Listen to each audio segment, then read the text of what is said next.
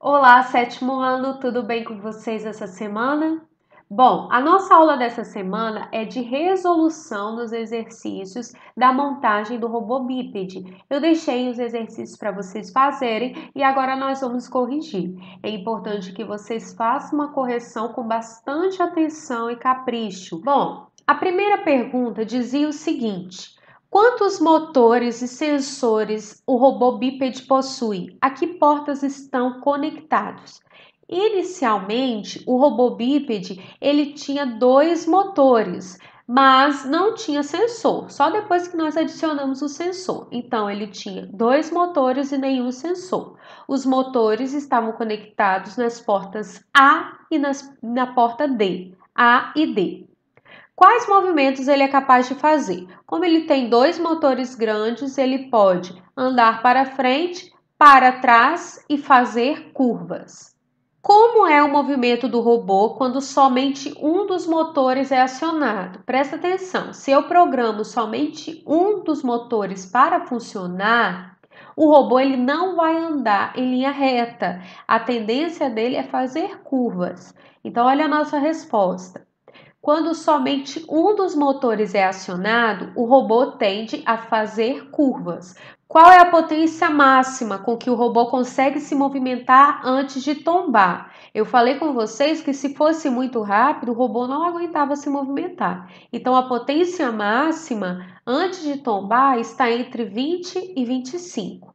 O que acontece se as vigas brancas em L que estão na base do robô forem removidas?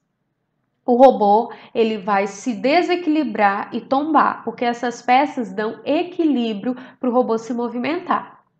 As próximas perguntas dizem respeito à modificação que a gente fez no robô bípede. A gente colocou um sensor ultrassônico. Então, olhem aí a primeira pergunta. Como ficou a programação do robô depois das mudanças que foram feitas? Depois que adicionamos o sensor ultrassônico ao robô cego. Então, vocês tinham que ir lá na, na programação que a gente fez no vídeo, assistir novamente a programação com o sensor ultrassônico e copiar ela para o fascículo de vocês ou para a folha que vocês estão respondendo as questões. Olhem aí como ficou, tá? É grande, mas não é difícil. Prestem atenção. Primeiro, nós colocamos um ciclo e esse ciclo ele estava configurado para utilizar o sensor ultrassônico. Então, ciclo configurado para o sensor ultrassônico. A opção que nós selecionamos foi o 4 e a distância que o sensor ultrassônico iria enxergar era 25. Dentro do ciclo agora, o que, que nós programamos dentro desse ciclo?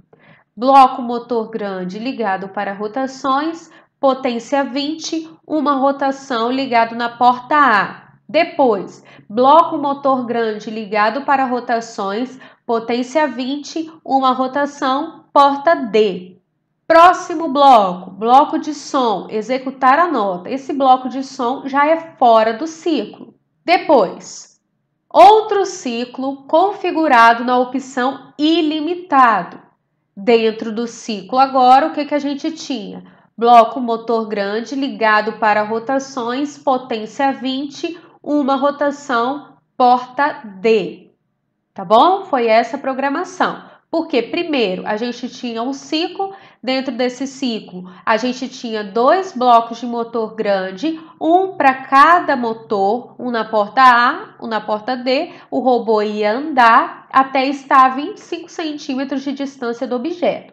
Quando estivesse a 25 centímetros, a menos de 25 centímetros de distância do objeto, ele emite um som e para. E aí a gente tem outro ciclo. Por quê? Somente um motor grande agora vai funcionar. Somente a gente configurou somente o motor que está ligado à porta D. E aí ele vai fazer uma curva para não bater no objeto.